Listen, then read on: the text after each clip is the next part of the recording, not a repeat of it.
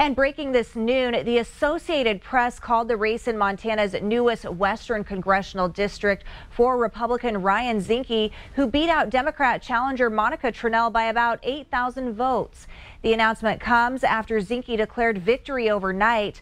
Montana will now send two Republicans to the U.S. House. Zinke says truth matters, and now it's time to fight for freedom and protect our way of life in Montana.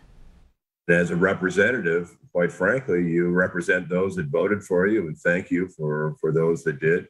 But you also represent the people that didn't vote for you and the people that will never vote for you. So, as part of a, represent, a representative is to is to listen and navigate uh, issues that are in the best uh, interest of Montana. And uh, it's going to be a difficult task because our, our, our country's kind of fallen apart by in chunks. Uh, but I'm, I'm confident within our measure and merit uh, to fix it and provide leadership. Thank you for joining me in this journey. We will continue to walk together.